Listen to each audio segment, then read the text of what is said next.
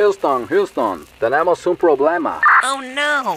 Hemos buscado en todo lugar y no encontramos niños por ninguna parte. Ah, ¿ya buscaron en la Frater?